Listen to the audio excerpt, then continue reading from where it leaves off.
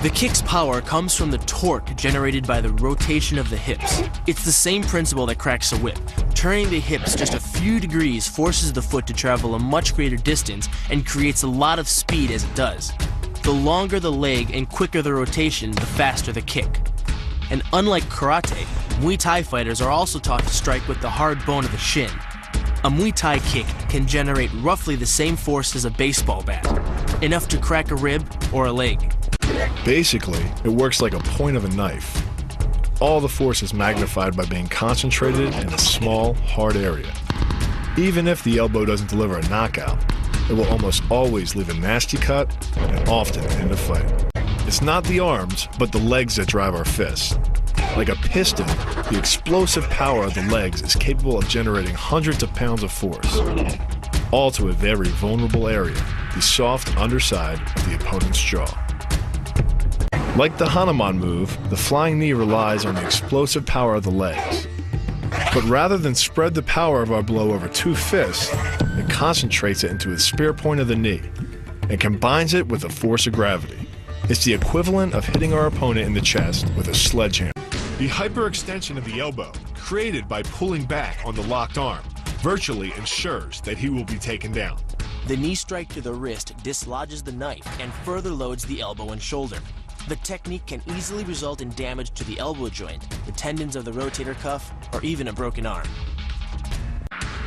The key to this move is turning your opponent's lower arm into a lever. By grabbing his arm during the initial attack, you set up the lever such that direct loading to his elbow joint is achieved. Once the elbow is locked and loaded, you can pull a much heavier opponent off balance by simply lowering your center of weight. With practice, the ninja can hit his intended target from distances as great as 45 feet. At impact, that's more powerful than a Major League Baseball pitch. This move is more about timing and precision than power. Instead of hacking through the limb, the first strike imparts an injury just a few inches below the elbow. The sword's razor-sharp blade easily slices through the soft tissue of the attacker's arm. This opens up his defense and provides the ninja a clean opportunity to deliver the kill stroke, a powerful shot to the top of his head. The move works by using your opponent's own body weight against him. The first strike can land at speeds greater than 20 miles per hour and can stun your opponent with the same injury-producing energy as dropping a bowling ball from over 11 feet onto his torso. By using his arm as a lever in conjunction with the leg sweep, you drive your opponent to the ground. Once he is on the ground, you follow up with a devastating strike to his face. The secret to the move is wrist control. By rotating your opponent's wrist to the maximum extent of its range of motion, the bones of the wrist lock against the bones of the forearm and make it impossible to bring the strong muscles of the upper arm to bear. Then, you can pull your opponent off balance and into a potent knee strike. The combined force of the knee strike and your opponent's forward momentum can be as much as 2,000 pounds, enough to dent sheet metal. The effectiveness of the Pola Kaimao lies not in raw power, but in speed.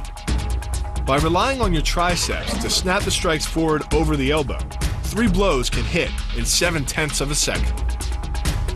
The final impact of the strike to your opponent's face can deliver as much as 175 watts of power, more than enough power to stun him or crush the cartilage of his nose. You then add insult to injury, firing one last shot into one of the most sensitive regions of the body, the groin.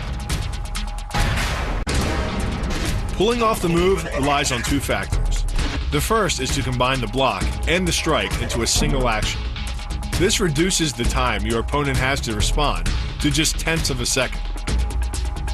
But the real focus is to aim your strike at the throat. Because as little as 76 pounds of force can collapse the larynx, the strike doesn't need to deliver a lot of force to be deadly. One blow like this and the fight is over energy needed to throw an opponent can more than double, but performed correctly, Uchimata requires almost no energy, yet it can deliver up to 5,000 pounds of force.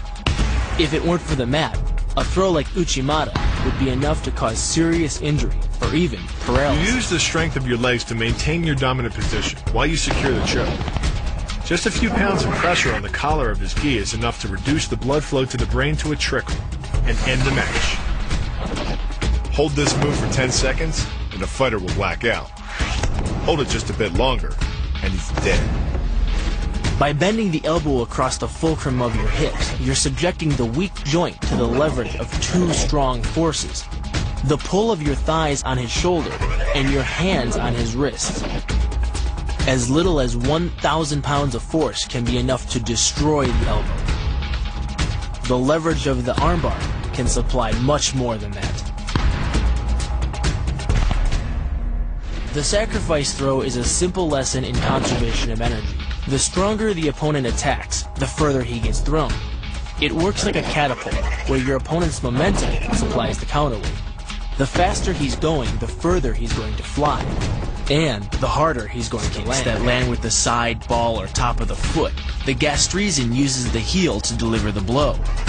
This alignment of the heel, ankle, lower leg complex channels some 2,000 pounds of force into the opponent. More than enough to break a baseball bat. The higher you can lift your opponent in this move, the faster he'll hit the ground. It's not just your force working against him. His acceleration due to gravity can mean his head hits the ground with a 3,500 pound impact. On a hard surface like concrete, this is more than enough to cause a serious brain injury. First, the opponent's arm works as a lever to optimize your control. Second, your own back serves as a pivot point for the throw. The strength and stability of your back allows you to throw a much heavier opponent than in a move that requires you to lift him. This move uses your opponent's arm as a lever working against him. The greater the torque on his shoulder, the greater the pain inflicted. And exceeding the joint's normal range of motion causes more than just pain. The soft tissue, muscles, and the bone can all be seriously damaged by this pressure. The goal of this lock is to stretch the tendons at the top of the foot to the breaking point. The strongest tendons have a tensile force threshold of just over 400 pounds. Applying any more pressure than that can tear the tendons from their base or snap them in two. Because you don't have time to cock your arm in a surprise attack, bursting's effectiveness doesn't come from the rotational power of the torso. Instead, it's driven by the legs, which hurl you forward into your opponent. Both the block and the strike land with 300 pounds of force, more than enough to collapse the windpipe or fracture the delicate bones of the face. Doing the 360 defense requires you keep your, keep your body in motion at all times, using your arms to defend different angles of attack. The key is keeping your arms at an oblique angle, with your hands open and straight, so that you don't take any blows straight on. Each is deflected down the angle of your forearm, which reduces its impact. Your opponent is relying on his grip strength and outstretched arms to maintain the choke. The strength of your back and shoulder muscles is greater than the applied force of your opponent's hold, so it doesn't take much to break his grip. And the closer your hands are to your own neck, the greater the leverage. The disarm is basically a judo wrist lock and uses many of the same principles.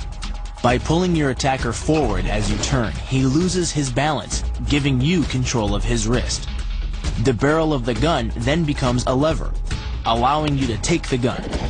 Because you are using the muscles of your torso, which can deliver up to 10 times more force than the muscles of the wrist, the disarm works against an opponent who is much stronger than you.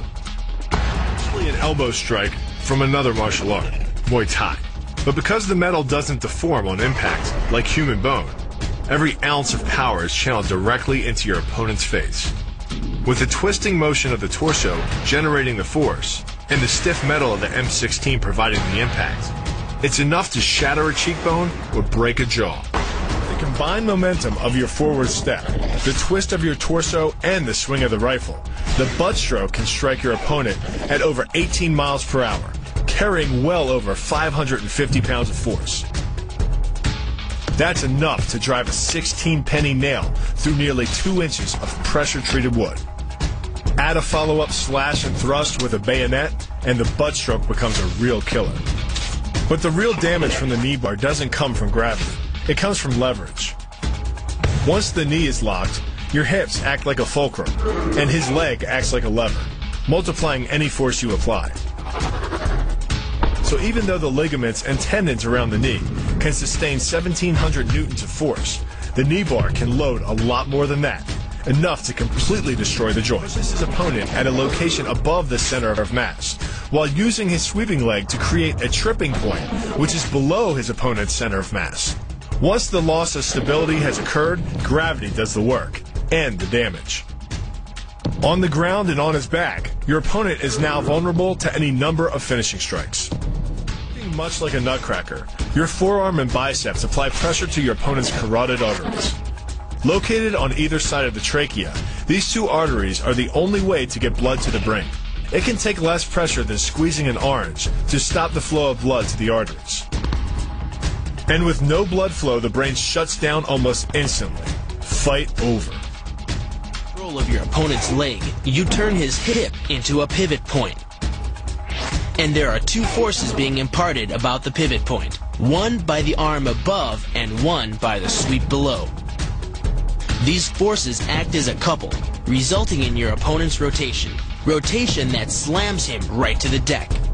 And given the speed of rotation and the force of gravity, that impact could cause permanent injury.